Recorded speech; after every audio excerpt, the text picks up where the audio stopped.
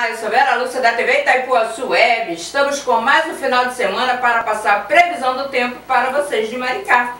Neste sábado, 22 de dezembro, a máxima de 38 graus e a mínima de 24 graus.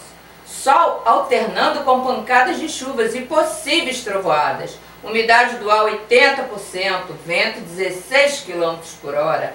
Já nesse domingo, 23 de dezembro, a máxima de 32 graus e a mínima de 24 graus.